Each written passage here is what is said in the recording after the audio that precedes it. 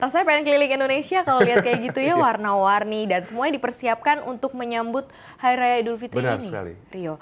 Dan petugas kepolisian dan anggota TNI juga melakukan pemeriksaan pemirsa terhadap sejumlah kendaraan yang melintas uh, desa Tekasire, Dompu, Nusa Tenggara Barat. Ya, hasilnya sejumlah pengendara kedapatan membawa senjata tajam dan minuman beralkohol.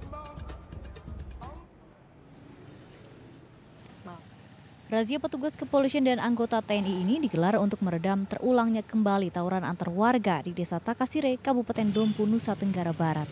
Petugas memeriksa dengan cermat sejumlah pengendara motor yang melintas dengan membuka bagasi dan tas bawaan milik warga. Hasilnya, petugas menyita sejumlah senjata tajam, pistol rakitan, dan minuman beralkohol. Tak hanya itu, petugas juga melakukan olah tempat kejadian perkara terhadap sebuah rumah dan sepeda motor yang terbakar di Dusun Jati Mengi. Sebelumnya, dua kelompok warga asal Dusun Jatimengi dan Dusun Jati Baru Desa Tekasire, Kabupaten Dompu, Nusa Tenggara Barat, Kamis siang terlibat saling serang dengan menggunakan beragam senjata. Peristiwa ini diduga buntut dibakarnya satu rumah warga.